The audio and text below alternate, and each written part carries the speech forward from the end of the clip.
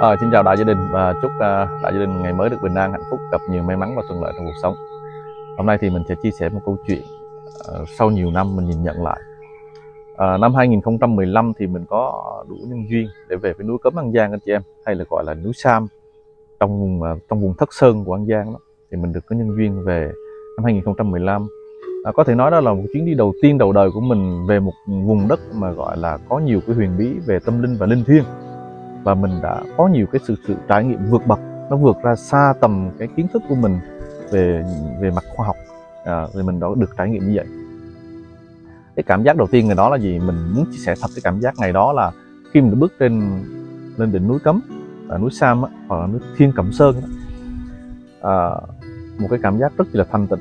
Thứ nhất là không khí rất trong lành à, không gian rất là thanh tịnh và cái điều mà vụ ấn tượng thời gian đó là gì? Khi mình lên đó là cái thời điểm mà những cái người mà sống trên đỉnh núi đó những người mà uh, định cư lên đó trên những cái đỉnh núi đó thì họ ăn mặc toàn là phong quần áo là theo kiểu áo bà ba chị quần áo bà ba. Mình đi qua tất cả cái hàng quán hoặc là tất cả những cái nhà đó đó thì đều là có thờ đức huỳnh giáo chủ và đức thầy tây an rồi à, có mở sấm à, của đức huỳnh giáo chủ nghe. Và nghe rất chi là cái cảm giác lúc đó thời đó của mình mình giống như mình mình nói thật là mình cứ cảm giác mình trở về một cái vùng đất mà nó âm hưởng về tâm linh và Phật pháp. Có một cái chút gì đó là mình cảm thấy là nó có một cái sức là, là hướng cái tâm mình về điều cái sự tìm được cái sự an lành và cái sự nhìn màu về trong đời sống tâm linh. Nó nó khó tả lắm nhưng mà tìm được cái sự an lạc đó hạnh phúc đó anh chị em. Ờ, à, bắn cho đến là năm 2020 21 anh chị em. 21 22 á. Thì mình có cơ hội mới trở lại trong vòng sau lại là khoảng ờ, 6 đến 7 năm.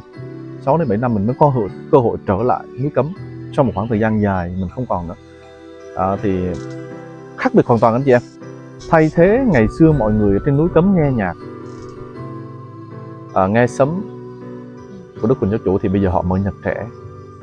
Nhạc giật quýnh ùng đùng đùng nhạc DJ remix rồi thế hệ nhạc trẻ rồi các hàng quán kinh doanh mở ra dịch vụ mua bán bắt đầu là rác thải xuất hiện lên khắp nơi những cái khu vực mà tâm linh xảy ra và cái chắc cái tình trạng chèo kéo khách rồi dẫn dắt khách đủ kiểu hết.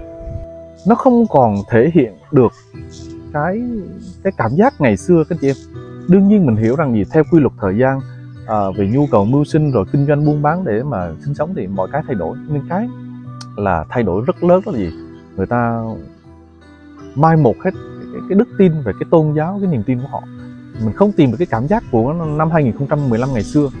À, không biết là có ai có đồng cảm với vũ trong cái đoạn clip này không? Thì anh chị em có thể để lại bình luận. Nhưng mà mình quay lại thì mình không còn thấy được cái sự nhìn màu cái sự vi diệu như những năm trước đây vũ ta từng đi. Bây giờ thì mình trở lại với một cái cái cảm giác khác. Với cái vị thế là mình cũng là cái người hiểu đạo hơn và ừ, à, thực hành đạo rồi mình cũng có trải trải nghiệm về tâm linh và mình nhận nhìn nhận cái điều đó.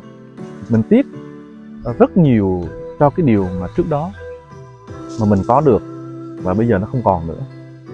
À, hy vọng rằng thế hệ trẻ những cái người thế hệ trẻ sau này à, biết gìn giữ và bảo tồn những cái nét đẹp à, cái văn hóa ở vùng núi cấm an giang à, núi sam đó để nó không bị mất đi những cái à, nét đẹp về tâm linh nét đẹp về tôn giáo nét đẹp về truyền thống của đó các anh chị em. Ờ, rất mong rất mong là sẽ có một cái cái cơ quan nhà nước hay cơ chức